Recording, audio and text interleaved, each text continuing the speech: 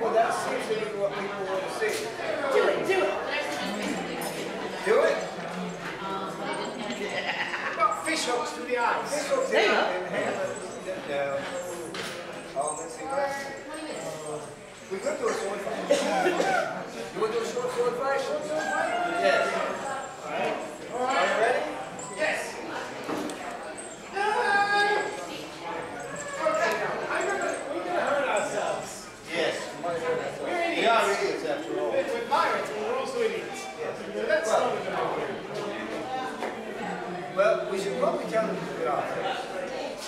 I'm Captain John Wolf. I'm the Pillage Idiots. Now, David Jones, I am all of the crew except for the captain. Hi. Yes. So probably, well, since we forgot kind of our, oh, we forgot part of our other show, we get to do that. So we're going to tell you all the stories. Who likes stories? Stories of adventure, Venture? of a humorous, of a humorous nature. No? Uh, so, yeah, yes, yes, all right. So, um, what story should we tell them, Captain? How about the one with the big bad badger? He puffs and puffs and blows the ships in and a straw, what a beautiful stone. A stone ship? Yeah, well, it didn't say floating. Oh, well, now that was of silly. Yeah, it's true. Here's, um, Jeff's not here, so we can probably tell the one about Shorty. Shorty and the seven weddings today. I don't believe it's wrong. They, no, no, they can go together. None of us know Well, it's true. Yeah.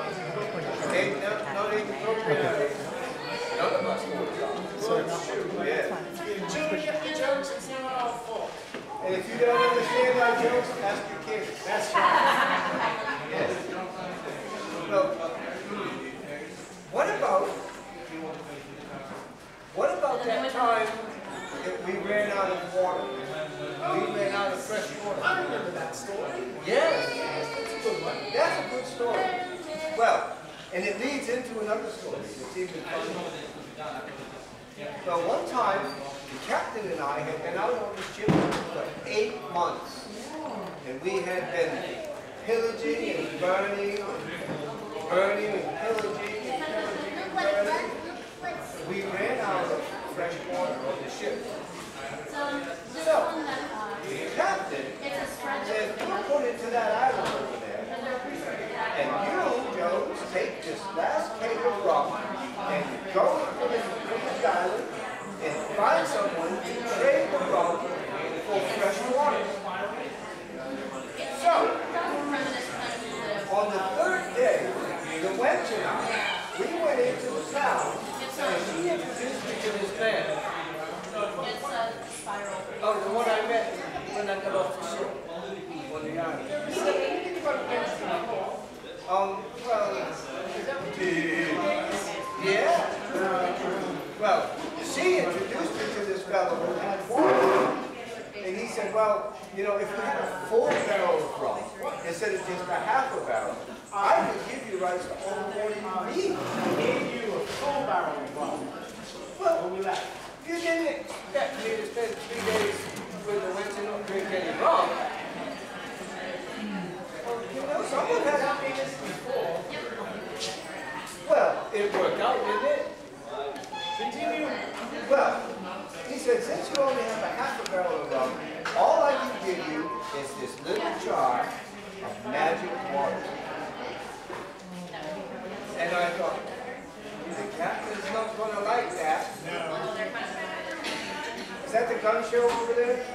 The gun show? Oh. I thought you were doing the gun show. Anyway, he said, I said, well, you know, Captain's not gonna like this, just a little jar of water. And he said, well, it's magical. And it will do anything. It will turn rocks into bread and it will make water for you. And, oh, it's, it's perfect. So I took it and I brought it back to the captain and I gave it to him. Sure enough, Very angry. he was very angry. I took the bottle and I dashed it upon the rock. Yes, he's a very dashing captain. Yes. Dashed it upon the rocks. And no sooner had he dashed it upon the rocks than a cave began to open up in the side of the island. A big cave.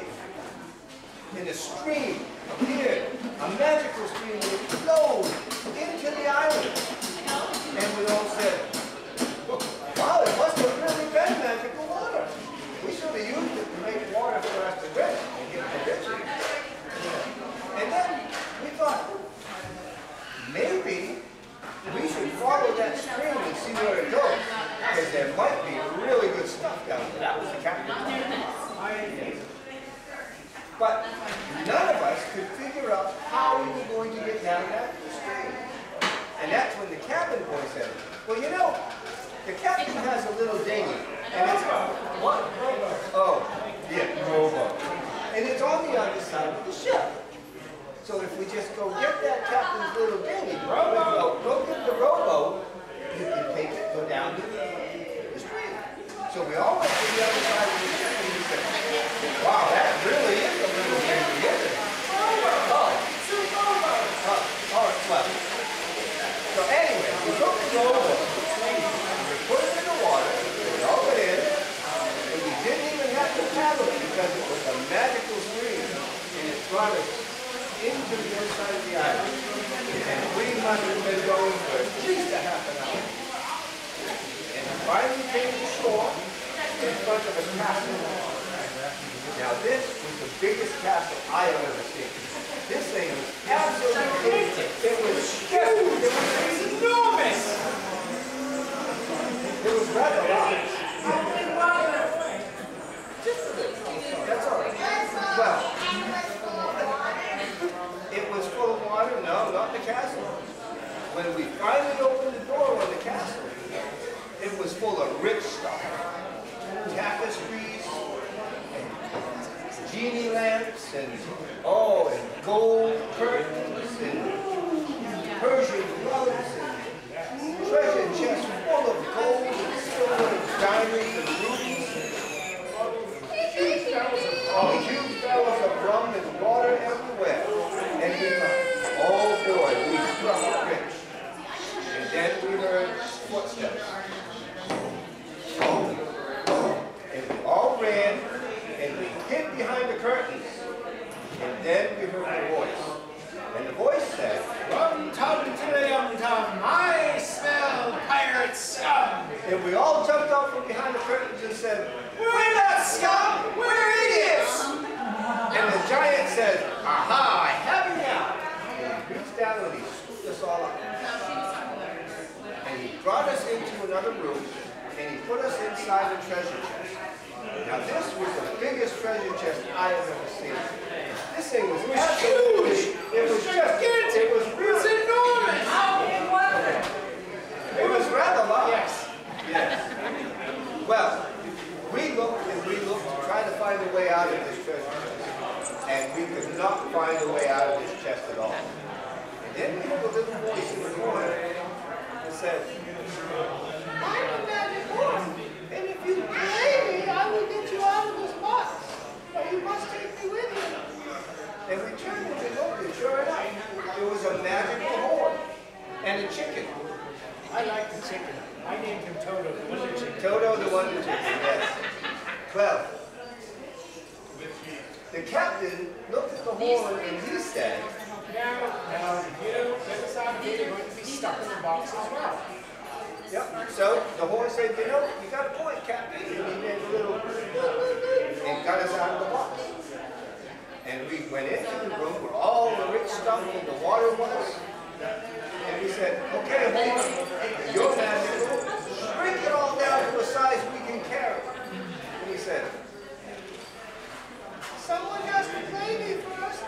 Because I'm magical. And that's when the captain said, Now, you're going to be stuck here just like us if you don't get us.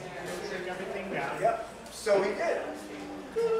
Shrunk it all down to little barrels filled our pockets and our pouches, and we started to leave. and then we heard the footsteps again. And then we ran, and we hid underneath the couch, because the last time when we hid behind the curtains, he found us. And then we heard the voice again. From town to the young town, I smell Pirates! And we all jumped up from under the couch and said,